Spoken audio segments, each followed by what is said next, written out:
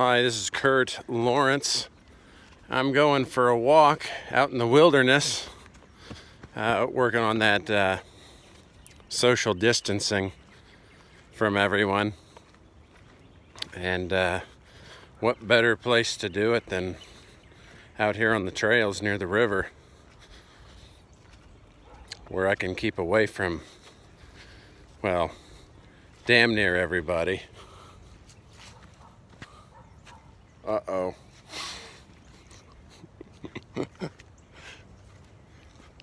but this is our uh, this is our view of the river.